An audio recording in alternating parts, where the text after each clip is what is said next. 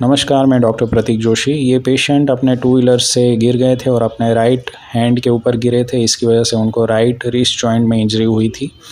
X ray में बिल्कुल भी ना डिस्प्लेस हुआ रिस्ट बोन जिसको रेडियस बोलते हैं, उसका फ्रैक्चर लग रहा था और एग्ज़ामिनेशन में वहाँ इंटरनल जॉइंट में ब्लड कलेक्शन जिसको हेमेटोमा बोलते हैं, वो हमें लग रहा था। इसलिए इनको हम तीन हफ़्ते के लिए प्लास्टर अप्लाई करेंगे। और तीन हफ़्ते के बाद इनको फिर से हम चेक करेंगे और आगे की ट्रीटमेंट डिसाइड करेंगे।